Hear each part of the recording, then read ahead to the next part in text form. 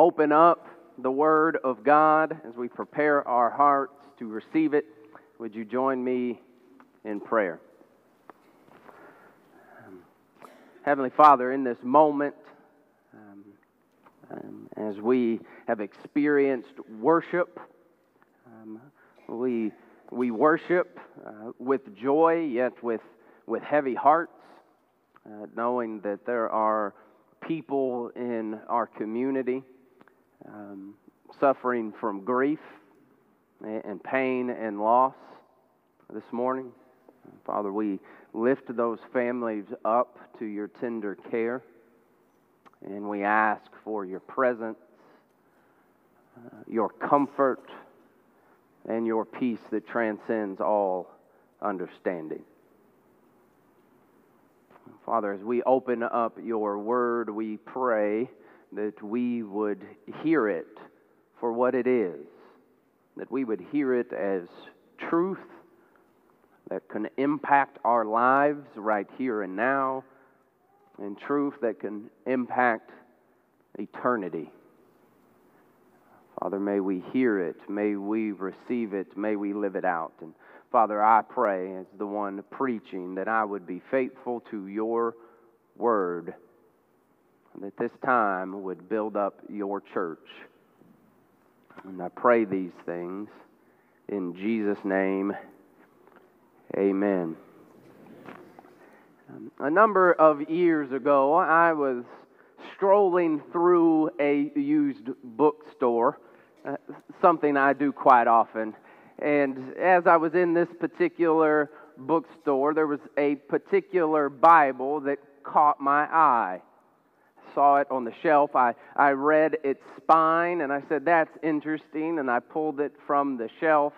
And the moment I saw it, I said, I had to have it. Um, it's actually a, a Bible that's been personalized. It's been personalized for a woman I do not know. Her name is Isabella Wellborn. And throughout this Bible, someone has paid for her name to be inserted within the text. So you can flip to John chapter 3, verse 16, and you can read, For God so loved Isabella that he gave his one and only Son, that Isabella, believing in him, shall not perish, but have eternal life. The, amen, indeed. Amen, indeed. You can look at the dedication page and see that Marshall, another person I do not know, Marshall gave this Bible to Isabella on Christmas 2009 less than five years later, I found this Bible in a used bookstore. Now, I have no idea how this Bible landed on the bookstore shelf, but imagine with me that Isabella, even with the help of a personalized John 3:16, read the Bible and said, "Nah, not for me. I pray that that is not us this morning. Amen. I, I pray that as we read and discuss the scripture, that we would see this as a word for us, that you would see this as a word for you. We've come to the conclusion of the series we've titled equip. And I'm asking the question. I've titled this sermon, What Have We Learned? I pray that we've learned that the church is designed to equip, not entertain, and the congregation is designed to serve, not sit. And I also pray that you've learned that this is a word for you. We're going to return to a familiar passage. It's Ephesians chapter 4, 1 through 16. This is the passage that we actually began this series reading. But this morning I want to do something a bit different. Uh, typically, at this point, I, I open up the Bible and I read from it, and then the remainder of the sermon is spent walking through and digging through the passage. This morning, I want to treat it a little different. We've, we've read this passage before, and what I want to do is imagine that we're at the kitchen table, and that at the center of the table is Ephesians chapter 4. And rather than walking through and digging through it, we're just going to have a family conversation.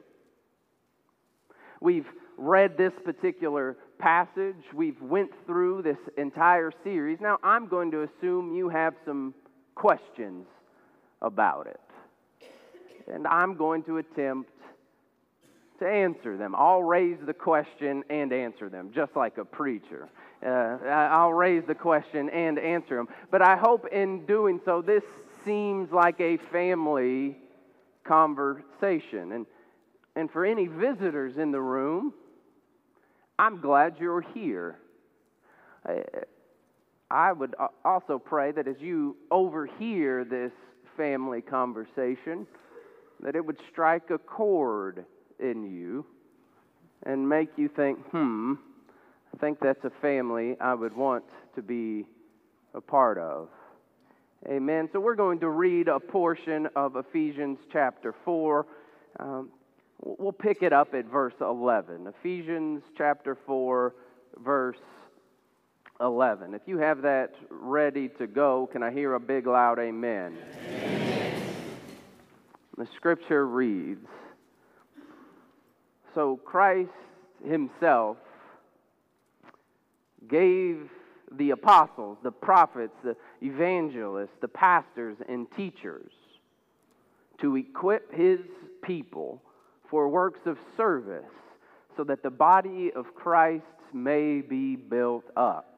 Until we all reach unity in the faith and in the knowledge of the Son of God and become mature, attaining to the whole measure of the fullness of Christ. Verse 14. Then we will no longer be infants, tossed back and forth by the waves and blown here and there by every wind of teaching and by the cunning and craftiness of people in their deceitful scheming. Instead, speaking the truth in love, we will grow to become in every respect the mature body of Him who is the head, that is Christ. From Him, the whole body, joined and held together by every supporting ligament, grows and builds itself up in love as each part does its work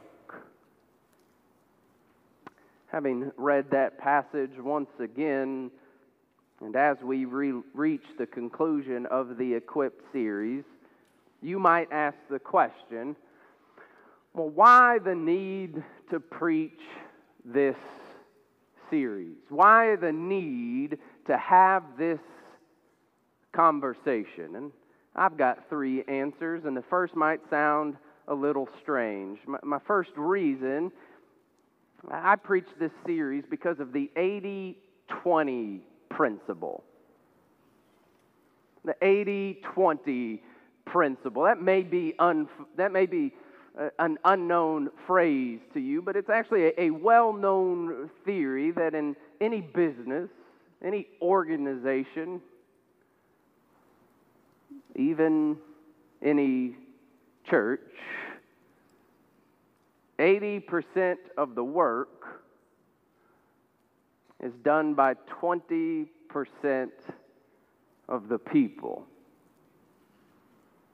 It's generally true in any business, any organization, even any church. 80% of the work is done by 20% of the people. I preach this series because that should not be true of us. Uh, we just read Ephesians chapter 4 that says that it's my job, it's the job of our church leadership to equip you so that you can do what God has called you to do. And through that process, the entirety of this congregation is built up. Through that process of church leadership equipping you and you putting your gifts to work, we all reach maturity in Christ. I've said it before, I'll say it again. This should be a disciple making factory. This should be a grace gift assembly line. As church staff, church leadership equips you to do the work you've been called to do. So I preach this series because of the 80 20 principle. I, I also preach this series because Jesus calls us to complete devotion and absolute surrender. Think about this. When, when we read our Gospels, Jesus calls us to complete devotion and absolute surrender. He calls us to, to give everything that we have. And what I love about the gospel accounts is that you can read them and, and you can see folks give to Jesus something less than. Something less than complete devotion and absolute surrender. And what happens in those instances? Rebuke. When someone brings to Jesus something less than complete devotion, they are rebuked. And we hear Jesus say things like this is Luke 9 23. If, if someone wants to be my disciple, they, they have to deny themselves and take up their cross and follow me. Complete devotion, it's absolute surrender. We, we hear Jesus say things like this. This is John 15 5. He says, Jesus speaking, he says, I'm the vine, and you're the branches. Remain in me, and I and you, you will bear much fruit. But apart from me, you can do nothing. It's complete devotion, it's absolute surrender. So I preach this series because the 80 20 principle, and, and I preach this series because Jesus is calling us to complete the devotion. But I also preach this series because our community needs us. I like to think of it this way at this very moment, someone from your workplace someone from your neighborhood, someone you sit next to at the ball field, is asking the question Does, does God love me? Someone eh, from your workplace, from your neighborhood, uh, at the sits next to you at the ball field is asking the question, Can I be forgiven? Someone's asking the question, Can I make it through this mess?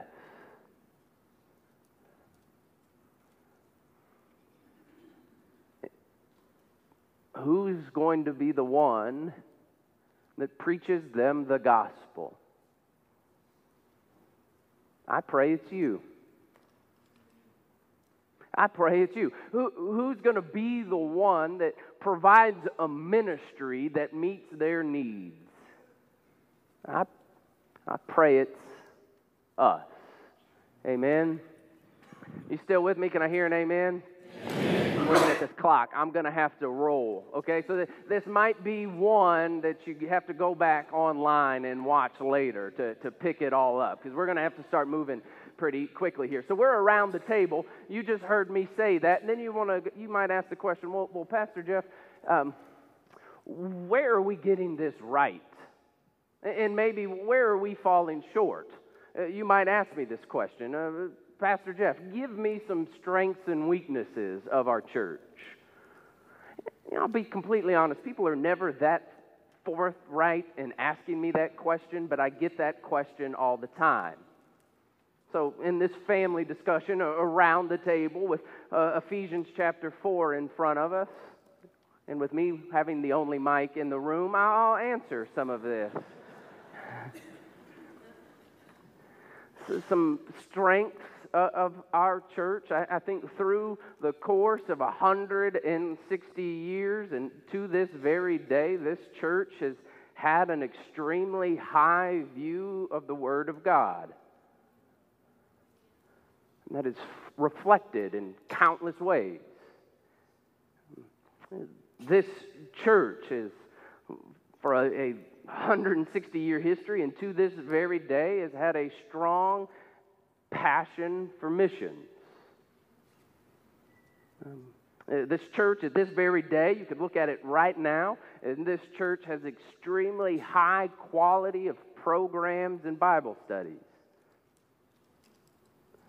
You could look at any financial statement that this church produces, and you would see that this is a church that is faithful and generous when it comes to giving. I, I, think you can walk the hallways of this church this morning and see at this very moment there's an incredible spirit among us this morning. Amen?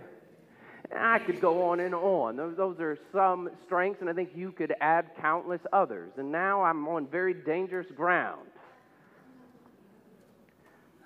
That, that wasn't buttering up. Those are all the honest, true strengths of our churches. But I, I stand on shaky ground. Is the new guy on the block going to offer up some weaknesses? I, I do believe uh, there's a great spirit among us. But I do think we need to strive towards unity. Amen?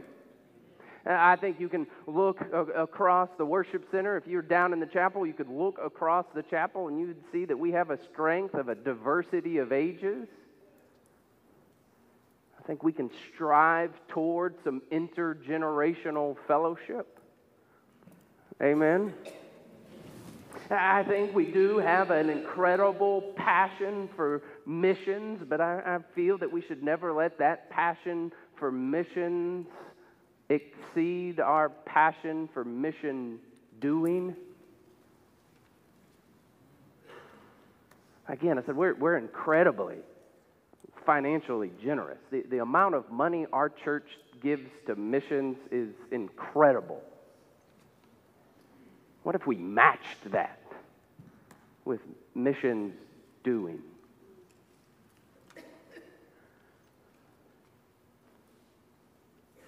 As I mentioned a moment ago, our, our church has incredible quality programs. But, I think sitting in this worship center, sitting in the chapel, is someone that God is stirring to do something new. Something new that will reach this community in ways that this community is not being reached now. Whew, that wasn't so bad, was it? Um, may not be able to wear this shirt again, but um,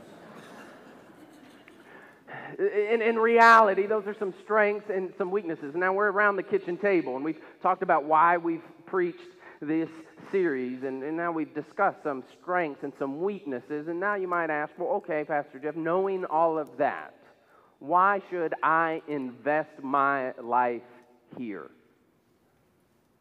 Why should I do what you're asking us to do? And I have great answers for that. Uh, much uh, more can be said than what I'm going to give here. This time does not uh, allow it. But you can invest here because you can add to those strengths And those weaknesses They're not really weaknesses, they're opportunities for us to be the church that God has called us to be. So, why invest here? Right here, right now, you have an opportunity for Christian community. You've heard me say this before, and I'll, I'll, I'll say it until you run me out of town. You were, you, you need the people in this room. That there are people in this room that need you. That God never intended for you to walk this life of faith alone. God designed the church. He wants our faith to be done in community. In this very moment, you can open a bulletin, you can talk to anyone, and you can see opportunities for Christian community. Right now, there are Bible study life groups and, and New Life Journeys and Wednesday night programs and a host of other opportunities where you can find Christian community.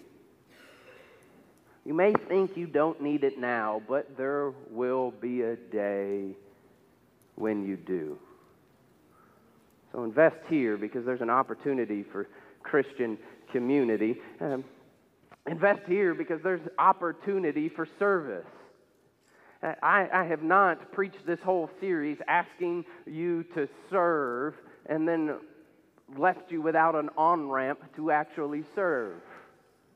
There's countless ways right here, right now, that you can get your hands dirty doing gospel work. We happened to place this series at the same time we're doing a little thing called the Say Yes campaign, where you can leave this worship center, you can leave the chapel, and you can find a display of opportunities where you can serve. And the Say Yes campaign, this go around, is all geared towards community outreach. Last time uh, that this was done, I, I heard reports that it was a little overwhelming, right? There were so many opportunities to serve. So think about this. We actually had to narrow it down to a select few. There are ways right here, right now, you can get your hands dirty doing gospel work. And then finally, and I'm moving quickly here, th- there's an opportunity for you to have an impact right now. That's why you should invest here. There's an opportunity for you to have an impact right now. And I'll be completely honest, I, I placed that one on the, the, the sermon manuscript after great reflection. And I, I once pastored a church much smaller than this, and that used to be my pitch. Right, I would stand up in front of people and I would say, "You can, you need to join this church, not the big church down the road, uh, because you can." You can make an impact right here and right now. There's avenues where you could change this church by signing up or by volunteering, by doing something right here and now. That used to be my sales pitch. And as I've reflected on that for the last couple of weeks in preparation for today, there definitely is some truth to that. But in reality, even as in a church as big as this one, you putting your gifts to work can have an impact right here and right now because that's the way God designed it. And, and this can happen, and, and hopefully I'm, I'm, I'm expanding our, our mindset on this. That can happen in official and unofficial ways, right? It definitely can happen because you can walk out to the Say Yes campaign and you can sign up to volunteer in an official way, and that will have tremendous impact right here and now. But it also can happen in unofficial ways, like you investing in the lives of the people in your Bible study life group. And it can happen in unofficial ways by you getting to know the people in the pews next to you. It can happen in unofficial ways by you taking that scary trip across the driveway and loving your neighbor in the name of Jesus Christ. I encourage you to invest here.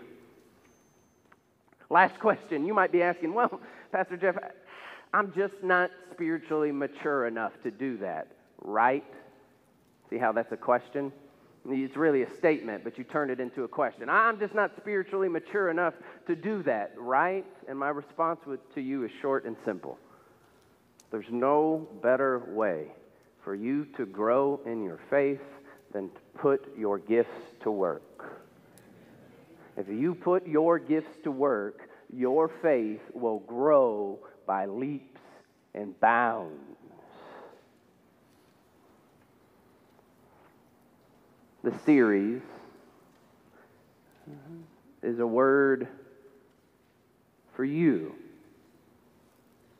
I pray your, your reaction is not, nah, no thanks, but, but that you would come to an understanding that there are people in this community that will only be reached if you reach them. And they'll only, there, there's ministries that will only be birthed if you lead them. And, and there's right now, at this very moment, ministries in this church that are thriving because of faithful people doing the work God has called them to do. As a member of this church, as a part of this family, put your gifts to work to bless this church and our community. Amen. Let us pray. Heavenly Father, I thank you um, for your grace towards us. Father, I pray that you would take this conversation and you would do work among us, that you would stir our hearts uh, towards faithfulness, that you would push us towards obedience, that you would open our eyes and our hearts to the ways in which you've called each one of us. And Father, we pray that nothing would keep us um, from putting our gifts to work. And we pray these things in the powerful name of Jesus. Amen. Um,